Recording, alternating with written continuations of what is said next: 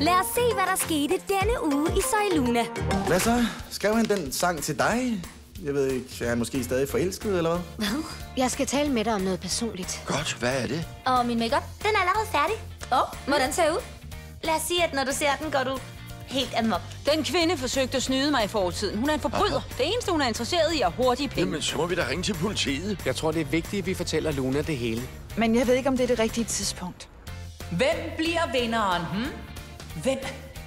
Det er vigtigt, at Amber overbeviser min far om, at han skal tage på rejse sammen med Rosa de las Marias. Du skal tage med på den rejse. Du kan ikke gå glip af den chance. Hvis det lykkes jer at lære af hinanden, kan I blive en meget potent duo. Nu er jeg bare bekymret over den kvinde, som sniger sig rundt omkring. Og har du tænkt dig at fortælle mig, hvem hun er? Jeg fik dit nummer af en ven. Jeg vil have appen, man kan købe likes med. Når du virkelig bliver forelsket, så kan du ikke gemme dig længere. Vidias præmie er min. Hvad? Sagde du lige, at Vidias præmie er min? Balzac, den berømte franske forfatter. Det undrer mig, at du ikke kan huske ham. Er, er du ved at miste hukommelsen? Nå, hvad synes du? Der mangler noget. Ingen forstår mig, som du gør. Har du det også sådan? Du køber likes for at vinde konkurrencen, gør du ikke? Hvor har du den latterlige idé fra? Amber skal kende sandheden, og hun kommer til at kende det. Glem alt om Simon, for ellers skal jeg nok fortælle hele sandheden. Forstår du det? Fortæl ikke nogen om interviewet. Folk er meget misundelige. Pas på dig selv. Din karriere står på spil. Hvorfor taler du med en bedragerske? Hvad pønser du på, Ray? Få billetterne ændret og sig til Rosa, at de skal rejse så hurtigt som muligt. Matteo, hvorfor kan du ikke det? Hvorfor vil du ikke have, at de interviewer Simon? Luna, det kommer til at gå Simon rigtig godt. Glem ikke, han har alle de tilhængere fra netværkene. Jeg kan ikke forstå, at han skal gå glip af den her mulighed på grund af Matteo, fordi han ikke vil hjælpe. Jeg hørte fru Sharon B. Ray om at snakke med Rosa de las Marias for at fremskynde rejsen. Jeg har overvejet det meget, og jeg har besluttet, at jeg vil hjælpe dig med at vinde Vidias præmie. Kan I se den pige her, Amber? Altså, hun køber likes for at vinde åben scene for solister. Hvad? Det er underligt. Jeg har det som om, jeg, jeg, jeg manglede et barnebarn, og nu, nu har jeg fået to. Jasmin har ret. Hvad sker der med Simon? Tag I det bare helt roligt, for jeg har slet ingenting kørende med Simon, tak. Jeg kommer til at savne dig meget.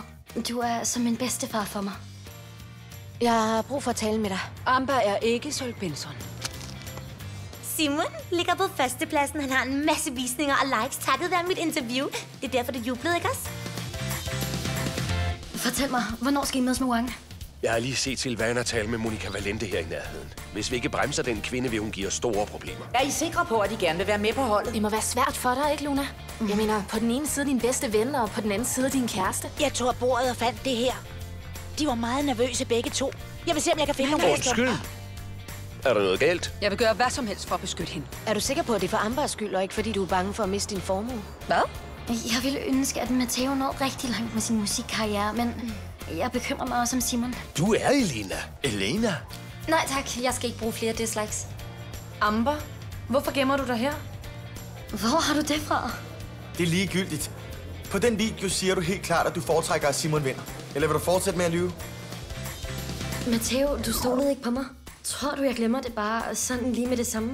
Jeg vil vide, hvor det kom fra, og hvem, der forsøger at afpresse mig. Men Miguel, det var det, jeg hørte. At hun ikke er den rigtige Rosa. Måske er det på tide, at jeg glemmer Gaston en gang for alle. Luna holder ikke op med at spørge mig, før jeg har talt med ham. Hvis du går nu, lover jeg dig, at jeg aldrig vil tale til dig igen. Det er bedst for dig, at du laver forretning med os, og ikke med den her. Er der noget, du er i tvivl om, Hawan? I denne udfordring skal I synge en duet. I skal hver især vælge en person, som I gerne vil synge sammen med. Luna, Nej, dit navn er ikke Sol Benson.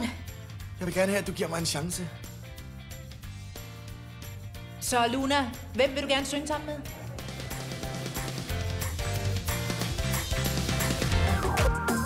Se så i Luna på Disney Channel.